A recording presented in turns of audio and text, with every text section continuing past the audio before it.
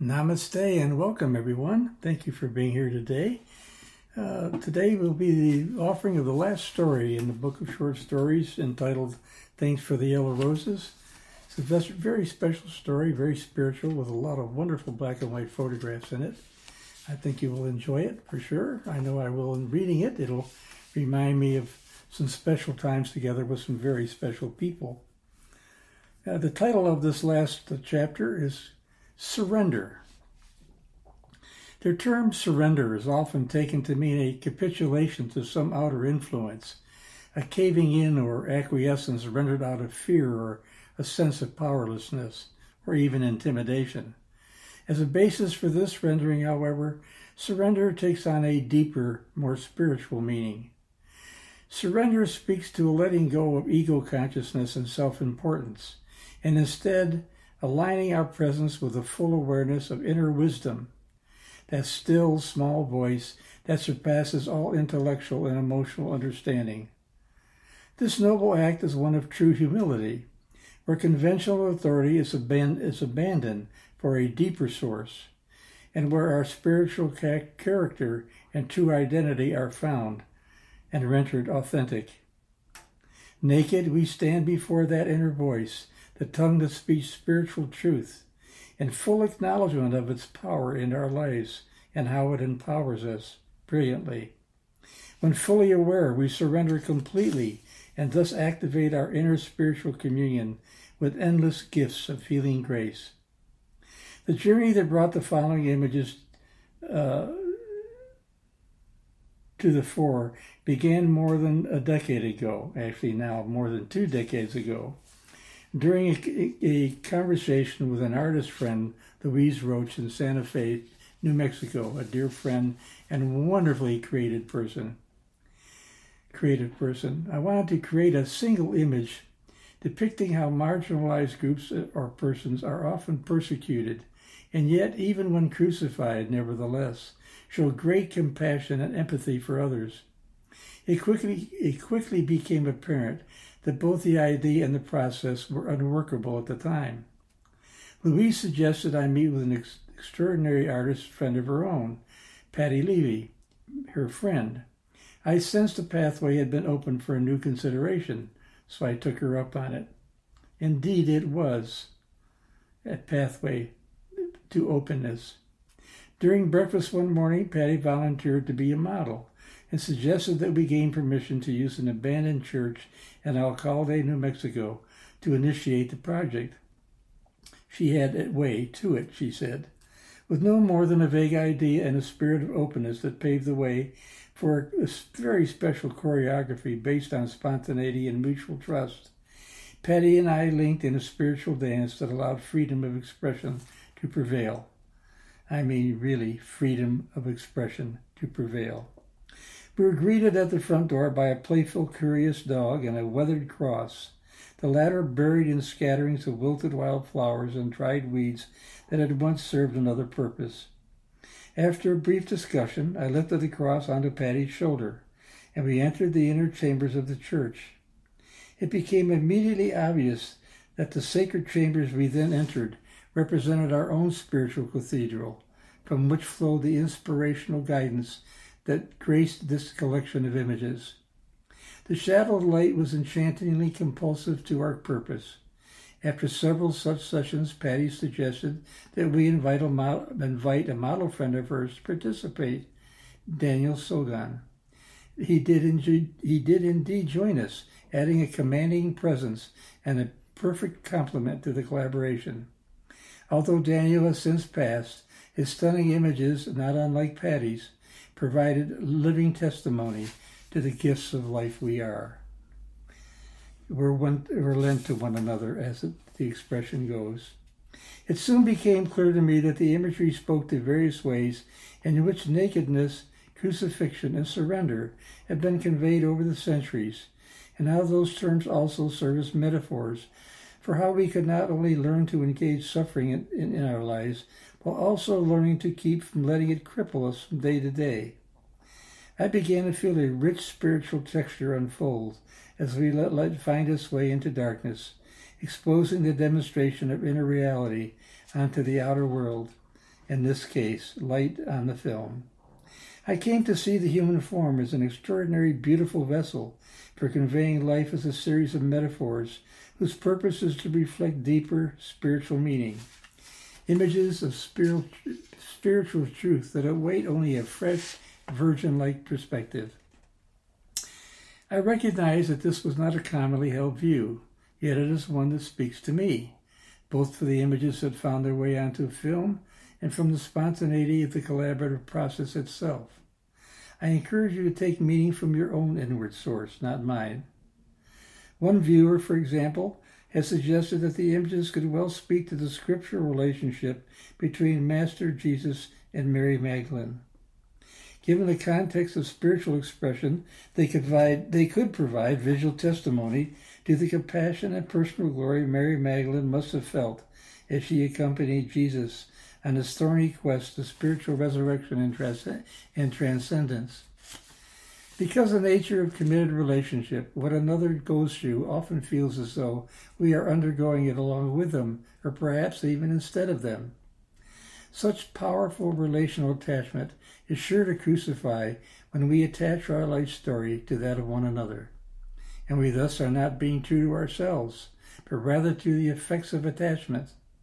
Through such pain, we come to comprehend that attachment, too, and must be surrendered, and, and that attachment, too, must be surrendered if we are to resurrect to a new spiritual way of life. In my own case, I came to comprehend the imagery as an array of metaphors that emanate from, during, eh, emanate from a daring embrace with vulnerability, standing naked before God, before the truth of our existence, the real truth of our existence. Thus, although nakedness is physical, it also speaks spiritually as a metaphor.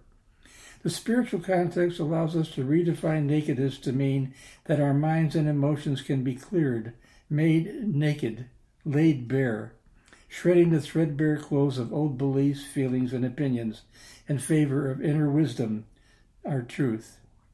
When we surrender these ego conscious remnants, we return to the innocence from which truth speaks.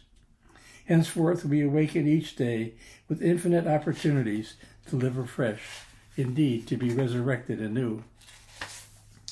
Given this context of innocence, the images in this collection can speak to a wide range of expressions that reflect our profound interconnection with spiritual, spiritual truth, while at the same time engaging life circumstances and situations.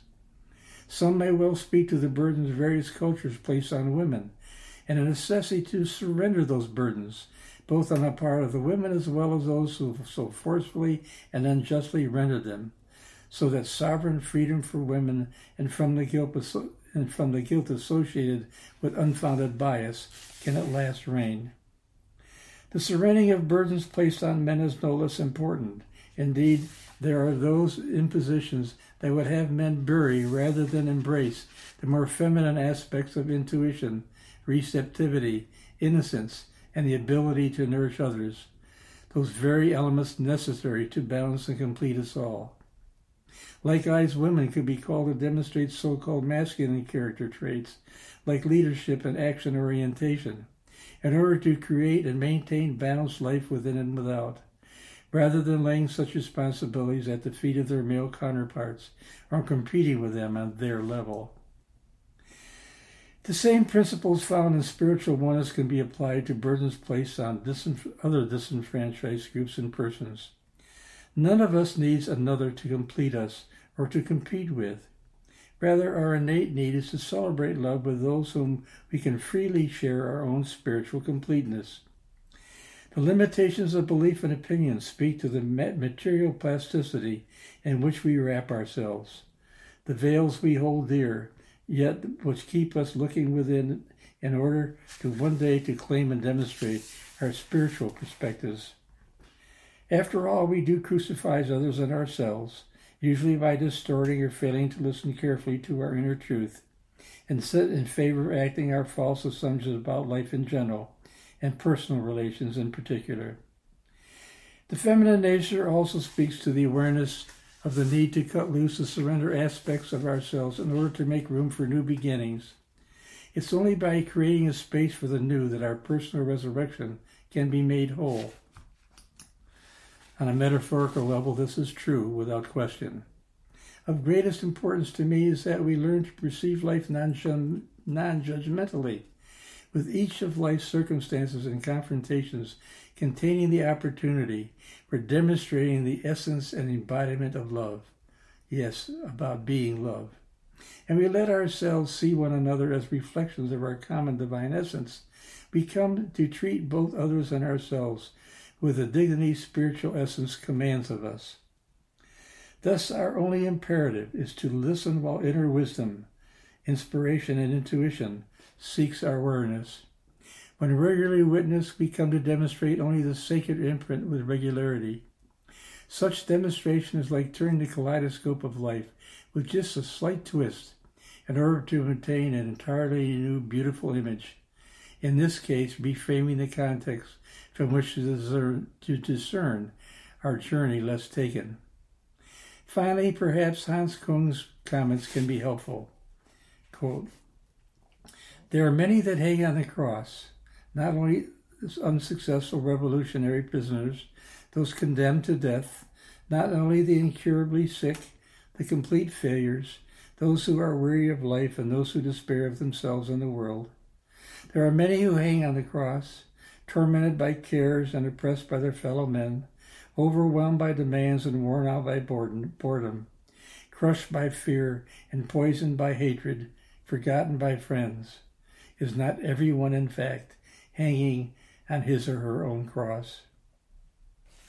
A more penetrating comprehension of Kung's contextual framework could indeed lessen the force of those thoughts that frightens us, Thus we lapse into cynicism and skepticism that are so plentiful in today's domesticated, often chaotic society. In a spiritual sense, the cross represents our continued attention on life around us, an erroneous fo- focus on outer appearance instead of inner awareness. By focusing on appearance, we obviate our inner knowing, gnosis, our inherent eternal consciousness, thus nailing ourselves on the cross of illusion. Until and unless we focus inwardly to become one with the infinite conscious that is our being, we are crucifying ourselves moment by moment, day by day. Yet, in a stroke of spiritual awareness, we are resurrected into being what we truly are the undeniable conscious awareness of the ineffable one and only. Thus, for me, when photographing from our heart space, instead of out of our need to simply capture an image of outer appearance, the moment we frame our lives out of the relation, then out of the relation realization that our innermost being we are one, we are prompted to release the shutter, and doubly etching this image on our hearts as but another reminder of this we can be sure. We already have we already have all we need for the spiritual journey. When consciously aware, each succeeding step will be birthed out of the womb of silence, through the voice of inspiration and intuition, the language of love, inner wisdom speaks. Our only necessity is to stay fully aware, so the gifts of grace can fulfill and become our day to day reality. Indeed, through surrender, come the emanations of innocence that transform. When embraced fully, we are resurrected and transcend into another world, from the world of fear filled mind to the world of the fearless, love filled heart. So ends the story of the created dance. Happily so. Oh, yes, as I reflect back on that occasion, it was quite extraordinary. Uh, we were like children in the candy stores, our head was swirling on our neck with one image after another after another that just simply came out of the relationship into the light of day, no pun intended. Or maybe it was intended, I don't know. Uh, so that ends the stories from the Book of Stories. Thanks for the Yellow Roses. I'm so glad I could share these with you. I hope, uh, for the most part, that it's not the stories themselves that had greater meaning, but rather I hope you were bumped like a bump in the night to want to share your own stories. We all have them. We think we're bad sport. We think many of us that we're bad storytellers. We're not. We're just storytellers. Period. Don't let anybody lay that on you, and for goodness sakes, don't lay that judgment on yourself. You are a story being told as you live your life day by day. You can't avoid telling that story. And it is a truthful story of what we are day by day, being simply love. And so, folks, uh, after this last story in that book, uh, I'll leave you with this uh, anonymous quote from something I found. Speak in such a way that others love to listen to you. Listen in such a way that others love to speak to you. Let me do that one again because it can be a little clever. It's not really, but it's really what this storytelling uh, activity has been between and among us. Speak in such a way that others love to listen to you. Listen in such a way that others love to speak to you. Be good speakers. Be good listeners. By all means, be the love you are. Pure and simple. And so until next time, we'll start another book. I don't know which one yet, but I've enjoyed sharing this with, with you, this one with you, and hope that you've enjoyed sharing it with me. Until next time, then, my friends, namaste. I love you.